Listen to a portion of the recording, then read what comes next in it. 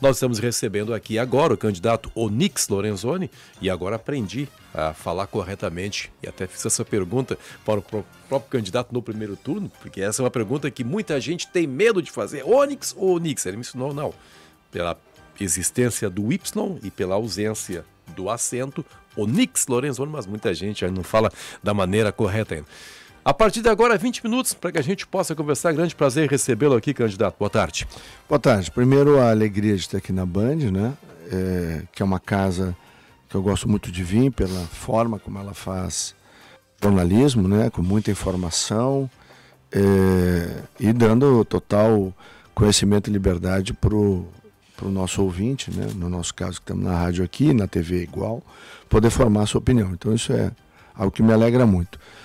Estou é, em paz, estou tranquilo, né? Nós temos a consciência de que fizemos uma campanha absolutamente limpa, não atacamos ninguém. É, não há um registro em programa de rádio e televisão, nas inserções, a gente atacando pessoalmente quem quer que seja, nem no primeiro e muito menos no segundo turno. Mantivemos uma campanha propositiva, é, mostrando aos gaúchos que é uma mudança que a gente está propondo aqui no Rio Grande do Sul lastreado, na verdade, de um governo que vai cumprir a sua palavra e que tem um único foco. Os próximos quatro anos, o meu foco, da minha esposa Denise, né, da Claudinha, minha vice, é governar o Rio Grande. Nem, nenhum de nós três é candidato a presidente da República. É ficar até o último dia cuidando e cuidando bem dos gaúchos e das gaúchas, porque não tem honra maior do que governar o Rio Grande do Sul.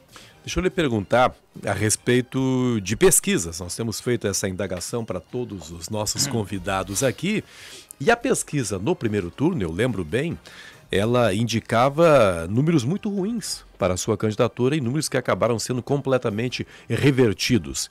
Agora é o contrário. Agora, aliás, segue ainda, segue, segue ainda, segue ainda sendo sendo, segue sendo não, não segue não sendo favorável para o senhor. E a sua expectativa é de que outra vez não haja um acerto aí nas pesquisas. Datafolha, né, o tal do IPEC, que era o Exibop, né, eles são mestres em distorcer resultado de pesquisa, a gente já sabe isso.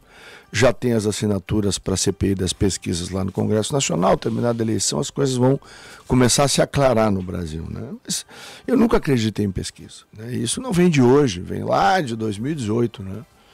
É, com o presidente Bolsonaro foi rigorosamente a mesma coisa, depois aqui em 2020 também foi assim, né, com o prefeito Melo e a ex-candidata aqui. É, essas mesmas pesquisas dos mesmos institutos é, davam a candidata Manuela Dávila aqui em Porto Alegre com grande frente em relação ao prefeito Melo. No primeiro e no segundo turno, o prefeito Melo foi lá e, e reverteu. Então a gente acredita é nessa sensação da rua. Aonde a gente anda, a gente recebe o carinho da população. E a Denise e eu andamos em todas as regiões do Rio Grande do Sul. Muitas vezes a Claudinha nos ajudou a modificar isso, eh, reforçando em áreas que nós já tínhamos ido há mais algum tempo. E ela também voltava com o mesmo relato. Né? É, salões inteiros, as pessoas pagando do bolso. Teve episódios onde tinham 900 convites, porque havia 900 pessoas, tinha 1.200 pessoas, 900 jantaram, almoçaram e 300 nenhuma coisa nem outra. Foram lá para levar o seu apoio, o seu carinho. Então, isso é algo que nos, nos dá muita tranquilidade para enfrentar esse momento. Além do que, a gente não confia, como foi aquele salmo bíblico que eu falei, né, no, no final do primeiro turno, né, o salmo 20. A gente não confia nem em carro nem em cavalo, né? porque isso aí é do homem, do poder humano. A gente confia num Deus que é poderoso e que nos abençoa esse tempo todo. A gente tem certeza que hoje vamos colher é, todo o bem que a gente plantou no Rio Grande do Sul. Não teve um episódio é, desagradável, nada. Foi uma campanha linda, linda, linda, linda, com muita alegria e recolhendo muito carinho. É, a Denise no início não estava acostumada, depois ela se adaptou. Nós ficamos, por exemplo, o evento terminava é, nove horas, por exemplo, tinha feito já as falas da noite, nós íamos até a meia-noite batendo foto. Filas gigantescas, com 60, 70 pessoas se renovando, 300, 400, 500 fotos. Nossos fotógrafos gastaram o dedo. Né? Então, que, que isso demonstra? Né? Que a gente realmente conseguiu construir esperança. Eu acho que esse é o papel de quem apresenta um caminho de mudança. Faltou algo mais abordar em todo esse período? Ou o senhor acha que explorou muito bem os assuntos? Não, a gente tem humildade de achar que a gente não sabe tudo, né? E, e tanto é que uma das coisas que a gente fala é que é, nós vamos é, quebrar vários paradigmas aqui no Estado, uhum. né? Se for da vontade de Deus, o povo gaúcho, que a gente governe. O primeiro deles, a Casa Civil, como a gente conhece até hoje, ela vai deixar de existir. É, as atribuições que a Casa Civil durante os últimos 40 anos faz aqui no Rio Grande, que é a articulação política, isso vai ser da Secretaria de Governo. Uhum. Cuidar de município, do, da relação com a Assembleia, né, essas coisas. E a Casa Civil eu vou fazer aqui a mesma coisa que fiz, por determinação do presidente Bolsonaro, vou estabelecer um centro de governo no padrão OCDE, que é a Organização de Cooperação por Desenvolvimento Econômico. Que essa é a organização. É a maior organização do mundo que reúne os 36 maiores democracias e maiores economias do planeta. Né? E por que isso é importante? Porque o Rio Grande do Sul tem que recuperar terreno. Né? Nós tivemos duas grandes tragédias, que foi o governo Livre e o governo Tarso, para o Rio Grande do Sul. O Rio Grande do Sul hoje tem uma burocracia pesada, difícil, o ambiente de negócio é ruim. Né? É, nós perdemos muito espaço para Santa Catarina e Paraná, porque eles investiram em criar um ambiente de negócios bom. E eu que cuidei dos vulneráveis lá no Ministério da Cidadania, que era através do auxílio emergencial, quando fecha tudo veio para cá. É, ontem foi uma cena, olha, dessas cenas para tu guardar para o resto da vida. Se aproximou um sujeito, né, é, avantajado de altura, e o cara 1,90m. Disse, Onix, posso te dar um abraço? Eu disse, claro, pode. Cara se abraçou e, e começou a soluçar e, e, derramou uma lágrima dizendo, eu quero te agradecer porque tu fez por mim. O auxílio emergencial botou comida na minha mesa e o Pronamp salvou a minha pequena empresa. Se não fosse o que vocês fizeram, eu não estava aqui. Né? Então, coisas assim são coisas que justificam toda uma trajetória política. Né? Então, tu nem imagina que tu está fazendo isso, mas tu está fazendo. Isso é o que eu falo de transformar vidas. Né? Então a Casa Civil terá um perfil executivo de poder dar agilidade a cada 100 dias prestação de contas. É, vai ter uma subchefia de acompanhamento e monitoramento que vai ter métricas para acompanhar o trabalho dos secretários, com total transparência. Então, o cidadão gaúcho vai ter um padrão de governança dos menores lugares do mundo. Né? E, em paralelo a isso, uma grande simplificação, tirar a pedra do caminho, digitalizar o governo, desburocratizar. É, por quê? Porque para tu poder cuidar dos mais pobres, e aí cuidar das crianças, como eu falo, da primeira infância, poder ajudar as mães que estão nos programas sociais sair para trabalhar, sabendo que o seu filho está numa creche bem cuidado, num jardim ou numa pré-escola, isso é vital e fundamental para o desenvolvimento daquela família, criar ecossistemas é, de trabalho que possam fazer com que a mãe ou o pai vá trabalhar e junto o seu filho que está numa idade já possa entrar, por exemplo, no programa né, como menor aprendiz. Então tu multiplica a renda da família. Então o sujeito sai de 600 reais para 2 mil, 2 mil e poucos reais por, por mês, isso muda completamente o perfil da família. Então, fazer rampas de acessão social, mas para isso tu precisa ter geração de emprego, geração de renda. E para isso tu precisa reduzir impostos, melhorar a logística e dar competitividade para o Rio Grande do Sul. Candidato, a questão da renegociação da dívida entrou com uma força extraordinária no debate eleitoral, a partir do debate que foi, acho que foi da Rádio Guaíba, né? O debate. Isso. Aquela questão que depois acabou sendo muito explorada pela internet. Como é que o senhor acha que saiu a sua imagem depois daquele episódio? Bom, primeiro o candidato que fez um meme, ele, ele, ele nesse mesmo debate, ele disse, não, as tuas críticas é porque depois do jogo jogado é muito fácil. Né? É, falávamos em relação à pandemia, que eu jamais permitiria que fechasse tudo, né? E jamais iria dentro do supermercado escolher o que a tua mulher. Quando a Denise me manda a listinha do supermercado, o que que marido sábio faz? Traz tudo para casa, né? Óbvio. Agora, que direito tem um governante de escolher o que a tua família vai comprar no supermercado? Isso é uma barbaridade. Isso é o paroxismo da, da, autoria, do, da, da arrogância, da prepotência, né? Então, eu estava criticando lá o seu Pedro Alau, a pseudociência. Qual é a pseudociência que mandou fechar o supermercado? Qual é a pseudociência que mandou trancar todo mundo? Qual é a pseudociência que pintou o mapinho e fez o Rio Grande do Sul ser o último estado onde as escolas públicas voltaram? Se esqueceram que tem milhões de mães que para poder trabalhar, elas precisam que seus filhos estejam na escola. Tá aí todos os professores me dizendo aonde eu fui, o déficit de aprendizagem das crianças principalmente no ensino fundamental, é gigantesco. Claro, ficaram trancados em casa dois anos. E aí? Né? Decisões erradas, escolhas é, é, erradas. E naquele debate, a gente estava ali num, numa disputa por tempo, né? Era a primeira vez que fazíamos aquilo.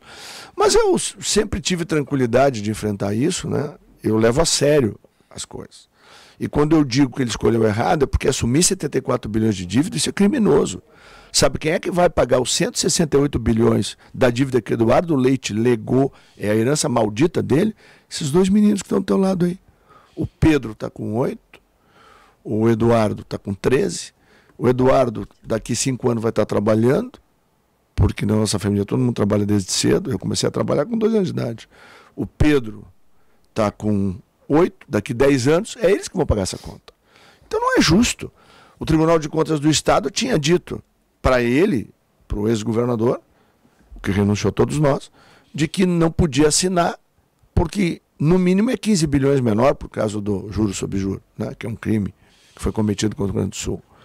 Por outro lado, tem uma perícia judicial no âmbito do Supremo Tribunal Federal que diz a mesma não coisa. cometeu um erro ao não dizer qual era o seu projeto, mesmo que o senhor sustentasse, é muito melhor do que o seu, mas se o senhor dissesse e esboçasse algum tipo mas de eu... projeto naquele momento, não seria menor o prejuízo? Mas, tia, se alguém vota ou deixa de votar por um meme ou por uma situação em um debate eleitoral, pelo amor de Deus, não está levando o Rio Grande a sério. Eu levo a sério. Eu fui a única voz que se levantou para dizer que não dá para contratar brigadiano, não dá para dar plano de incentivo fiscal para nenhuma empresa. Nós vamos superar as nossas dificuldades como? Com uma marra que foi criada desnecessariamente no Rio Grande do Sul. O programa é voluntário. O Rio Grande do Sul, a figura é. O Eduardo pegou uma cordinha, botou no pescoço dos gaúchos, fez os gaúchos subir no banquinho, chutou o banquinho. Está todo mundo enforcado. Esse é o fato. Podia ter escolhido o plano de equilíbrio fiscal. No debate à noite eu expliquei o plano de equilíbrio fiscal. Né? Aí não fez o meme. Por quê? Porque não servia. Gente, eu acho que é todo mundo maduro e adulto para saber que é, meme é coisa de moleque, né? É molecagem. Então, se as pessoas, por uma molecagem, modificam o seu voto, bom, aí é consciência de cada um. Agora, qual é o peso do debate para agregar voto? Eu acho que muito pouco. Eu acredito que, como a campanha é longa e ela permite que tu marque as tuas diferenças, eu sempre acho que debate. Dificilmente alguém ganha ou perde voto em debate, porque quem é que assiste o debate? A torcida. Torcida de um, torcida de outro. Eu já eu acompanho debates aqui no Rio Grande do Sul e no cenário nacional há muitos anos. A minha visão de debate é zero a zero. Ninguém ganha. E qual é o peso do apoio, mesmo que crítico, do PT ao candidato Eduardo Leite? Isso é um problema do eleitor. Nós estamos falando de uma pessoa que tem um caso grave de corrupção na EGR, que hoje é processado por improbidade administrativa quando governou Pelotas, fez pedaladas fiscais na educação do Rio Grande do Sul, isso já está comprovado e nem o Tribunal Regional Eleitoral mandou tirar os nossos comentários sobre isso, porque é um fato, né? identificado inclusive pelo Tribunal de Contas do Estado. Né? É, e, bom, se aliar para ganhar uma eleição, como disse a Dilma com o diabo, esse é o problema dele e dos eleitores dele. Quer dizer, o dano que o PT causou ao Brasil nos últimos anos, eu acho que ninguém precisa contar. Está é, aí a América Latina é, inteira. A Venezuela entrou nesse caminho, o que, que aconteceu? Todo mundo sabe. A Bolívia, todo mundo sabe, a Nicarágua está lá expulsando e matando sacerdotes e freiras, idosos. Está é, aí a Argentina indo para o fundo do buraco. Todo mundo sabe do que eu estou dizendo. Quer dizer, se o, eu não acredito que o Brasil vai escolher esse caminho, e muito menos que os gaúchos vão achar que esse é um caminho seguro para o futuro das nossas famílias e dos nossos filhos. O que nós estamos oferecendo é diferente. Aqui tem verdade, aqui tem o desejo de servir. Eu aprendi o senso de missão com o presidente Bolsonaro, de servir as pessoas, mesmo com o risco da tua própria vida. Né? É, é, eu me lembro da, eleição, da eleição do Sartori, quando ele mandou o Sartori levantar, você é respeitoso aqui, que tem muita gente almoçando o bumbum na cadeira. A pergunta é, aonde que ele ficou na pandemia? Quando eu saí com o Bolsonaro para a rua, eu fui ao encontro das pessoas, o Bolsonaro me tirou um sábado de casa, que eu ia treinar com a Denise, eh, para a gente ir no Chaparral, que é uma das áreas mais violentas da periferia de Brasília, entrar de casa em casa e saber que as pessoas. Isso era março de 2020. Ver como é que as pessoas estão sobrevivendo ao tranca-tudo. O governador lá tinha trancado toda a cidade. As pessoas todas sem trabalho. Uma semana depois, ele faz duas coisas, o Bolsonaro. porque aquela senhora disse, eu trabalho naquele instituto ali, ó, né? É, é, ele, ele, ele elencou uma série de atividades que serão essenciais para as pessoas. E, e, e, do outro lado, ele me determinou para fazer o auxílio emergencial, que nós tivemos a coragem de inovar. O único país do mundo que buscou os elegíveis no aplicativo celular foi o Brasil. Eu, naquele ano, por conta disso, eu executei 400 bilhões no Ministério da Cidadania, atendendo os mais pobres do Brasil. 400 bilhões significa que eu teria que governar o dobro do período do, do, do Eduardo. Por quê? Para ele chegar perto de 400 bilhões, ele tinha que governar quase sete anos. Foi aprovada minhas contas, sem nenhum apontamento do Tribunal de Contas da União. Então, isso para mim é motivo de muita honra. Estou aguardando a aprovação das contas do Ministério do Trabalho e Previdência, que o orçamento é de 900 bilhões. Nós estamos falando de mais de 10 anos de governo do Rio Grande do Sul. E eu tenho certeza que elas serão aprovadas sem nenhum apontamento também. Candidato, qual será, como ficará a relação do governo gaúcho, na hipótese da sua vitória, com o governo federal, na hipótese da vitória do candidato Lula? Olha, com todo o respeito, eu não consigo acreditar que o Brasil vai eleger um sujeito que não consegue sair na rua. Isso é um fato. Foi muito estranho aquele primeiro turno. Né? Eu tenho muitas dúvidas. Estranho como? Na apuração, como foi em 2018. Né? Então, o senhor eu... desconfia das urnas eletrônicas? Não, eu, confio, eu desconfio da transmissão de dados. Transmissão de dados. E, e tenho sólidas razões para isso. Porque fui a mas, primeira mas, mas, pessoa que conseguiu colocar em 2018 quatro observadores dentro da sala cofre do TSE porque a ministra Rosa Weber nos autorizou na sexta-feira. do Exército na averiguação do processo não lhe tranquilizou em relação a isso? É uma presença à distância, né? não uma presença dentro. Né? Então, eu continuo com muitas dúvidas. Né? Da mesma forma que em 2018 faltavam poucos votos para o presidente Bolsonaro vencer a eleição, e curiosamente aqui no Sul parou de entrar voto para o Bolsonaro, só entrou voto para Haddad. Agora aconteceu algo assemelhado. Como eu estava distante, muito focado aqui, eu não, eu não tenho é, é, os elementos de acompanhamento como eu tinha em 2018, porque eu coordenei a campanha do presidente em 2018. Né? Então, é, passado esse episódio, a gente vai se debruçar sobre isso. Agora, que há sérias dúvidas, há. Então, eu não acredito que a eleição, sendo a expressão correta do que os eleitores estão votando, que a gente vai ter é, outro presidente que não seja Jair Bolsonaro. Perfeito. E aí, aí acaba perdendo efeito a pergunta sobre, sobre a relação. Agora, né, essa questão da transmissão de dados, que tipo de, de, de movimento não, poderá ser feito? O que, eu, o, que eu, o, que eu, o que eu posso dizer para ti, para os ouvintes, eu não fujo nenhuma pergunta, nunca fiquei sabendo do mundo. É, eu trabalhei com governadores nos quatro ministérios, né, porque um foi o da transição, nos quatro ministérios ao longo do governo eu trabalhei com governadores e com prefeitos do PT. Então, vão ser objetivo. Sempre os tratei com respeito. Sempre os tratei dentro eh, da linha republicana, que foi o governo do presidente Bolsonaro. Eh, a obra estava em curso, era uma obra contratada, nunca, nunca se atrasou um centavo, não se atrasou um dia, porque não importa, depois que passa a eleição, tem que governar para todo mundo. Eu, tenho consciência absoluta, eu conversava isso com a Denise, a minha esposa, foi ontem, anteontem. Nós falamos exatamente disso. A nossa missão é governar para todos.